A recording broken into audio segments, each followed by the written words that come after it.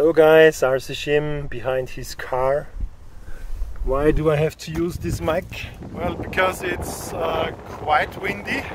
I feel like one of these weather channel journalists. Uh, but it's not raining, so I, I really want to take you on to the journey of me flying my first, oh damn it, flying my first 6S copter. So that's what this video about today.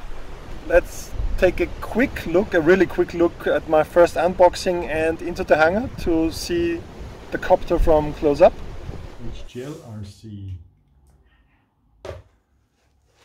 Hmm? It looks slim. Some props with new sticker.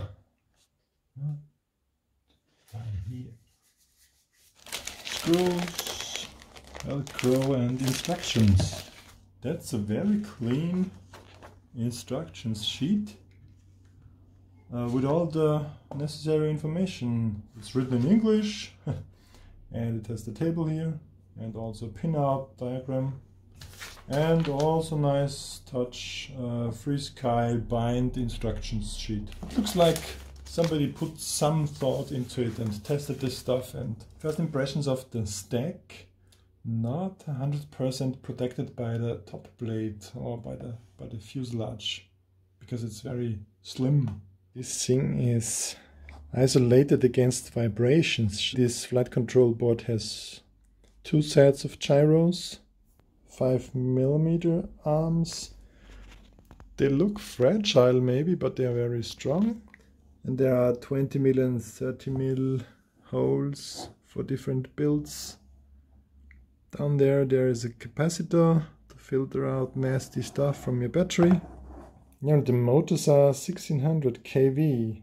And if you increase the voltage, you need to decrease the kVs. That's why the 6S copters come with lower kV motors than the 4S copters.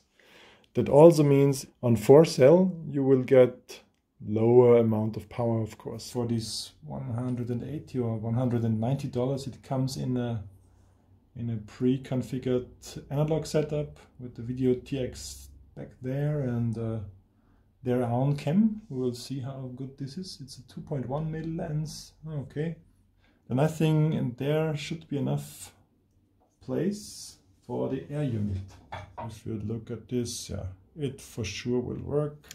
One clever thing they did here with the cam mount.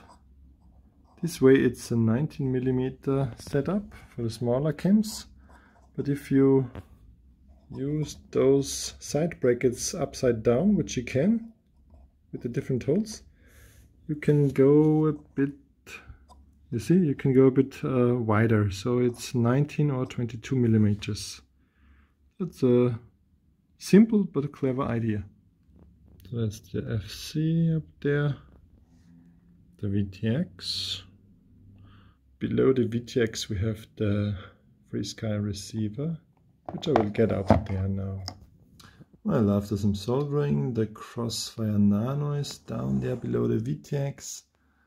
VTX power cables. I'm curious to see how many interference from the power we will have. I love the fact that it already comes pre-configured to hold your Immortal T antenna. Okay, so as you've seen, it's quite a nice machinery, but it, let's see what the real difference is. And so my first flight, my maiden flight with this thing will be a 4S. And then I hope I can put some some big fat smile on my face by swapping over to the 6S battery. So let's check it out with 4S, on 4S. And here is a big foreshadowing event. If I would have just read this bad RX warning from the flight control, I could have saved a lot of time here. You have to keep in mind that it was really, really windy up there. It was my maiden flight, which is not a good combination after all. And apparently I had a, a bad RX, as the flight control stated. And I only realized this later.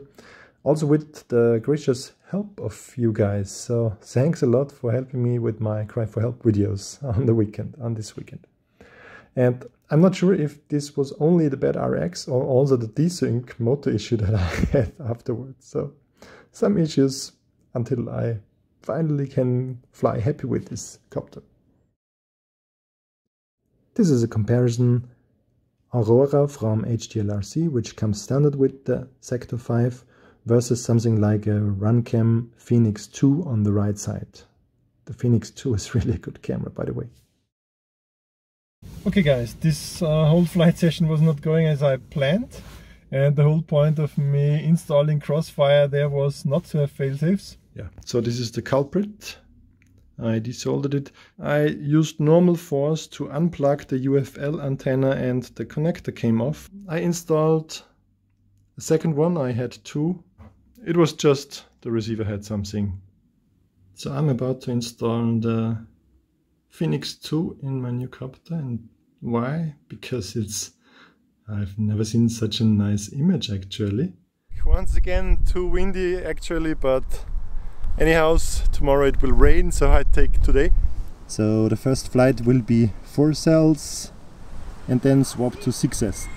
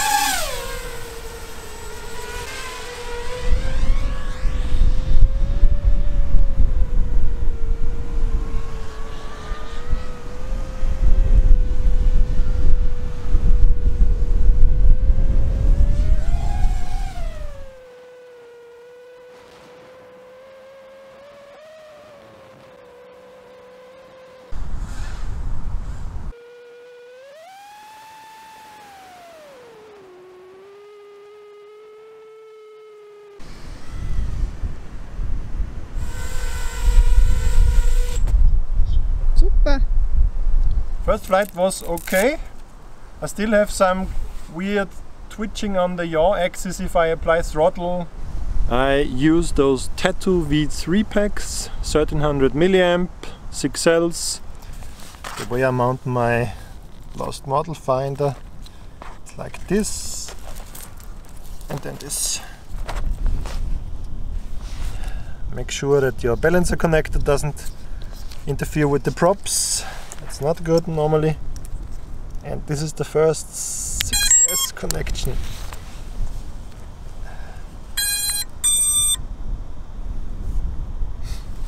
Camera is rolling. Wish me luck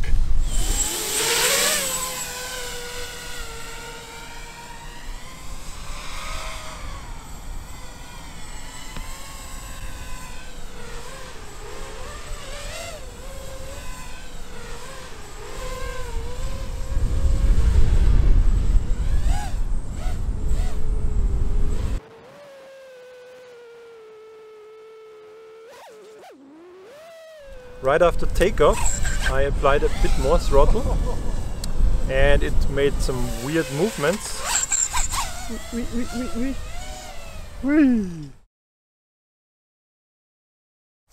A lot to learn uh, with this quad. I've had a few issues already. The first issue was not the quad's fault with the faulty Crossfire Nano.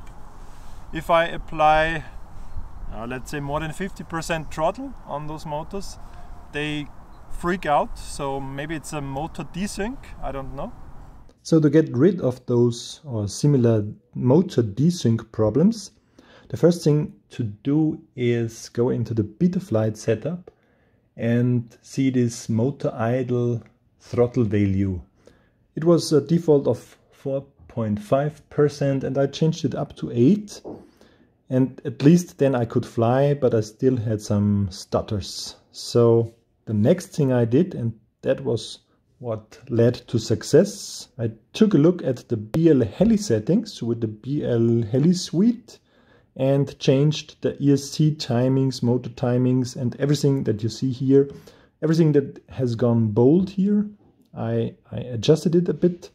And I did this following the wonderful tutorial of Oscar Liang which I will also link you in the info box of this video. So I don't know if everything of this was necessary, but it led to success. It maybe makes my copter a bit less efficient, a bit less powerful, but this way it flies really good and smooth, which you will see in the next scene. Okay, I'm risking my GoPro on a new drone because of that. I want to see how it looks up there. With a nice fat rainbow.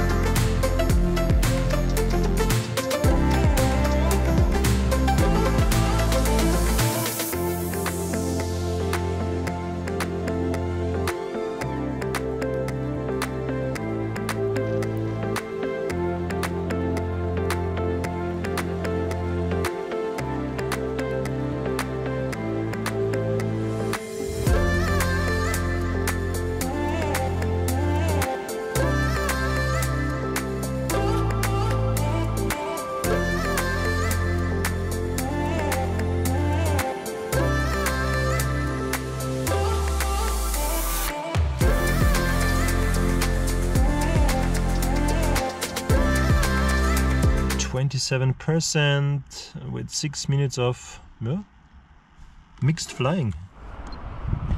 Okay, before the weather gets too nasty, I mean it looks damn beautiful with morning sun and uh, a freaking rainbow in the background.